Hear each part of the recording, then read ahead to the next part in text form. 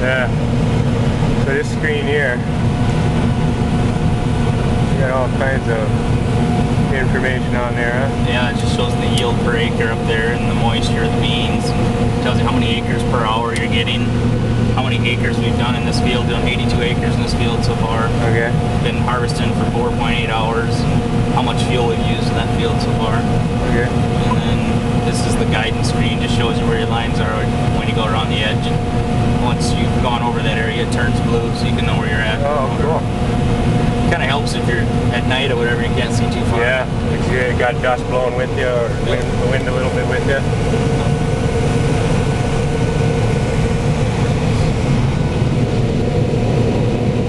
What's this uh, metal Up front. is up front there? I haven't That's seen that before. that's an air system. That's what I was cleaning off when you walk around there. It's getting sucked up with dust always. Oh, okay. It, it's um blows the beans into the head better. Oh. Or always some of the beans fall off. It probably saves maybe a bushel acres. Really? It really helps in the short beans because in the short beans the reel can't hardly pull them in. Yeah. So this just blows them right in. It just sucks them right off the sickle. Huh.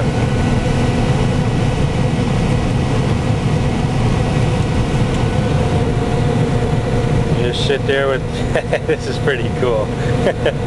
Don't have to touch the wheel, just set the speed and away you go.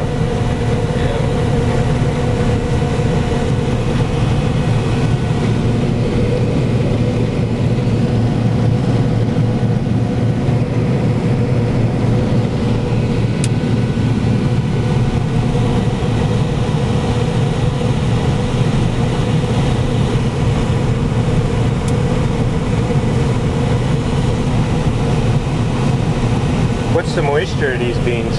Um, they're averaging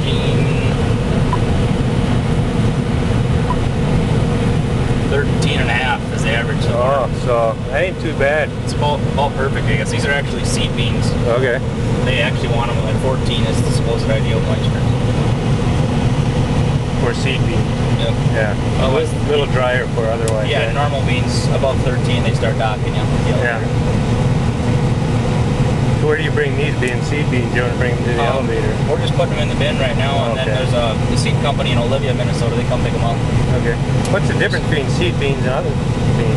Um, well, it just got into just like Roundup Ready, Roundup Ready crops and stuff like that. Then like Monsanto, the company, they got patents and all that stuff. Okay. So farmers can't just take their own beans they grew last year and replant them again now. Oh, So yeah. Monsanto has to get their hands on them and charge you their tech fees and shit. Yeah. Okay. So um, everybody has to buy bean seed every year now, and um, then it's just you grow them, and then they, Monsanto buys it from you. You get a little premium, about a dollar a bushel, I guess it works out. nice. You just gotta keep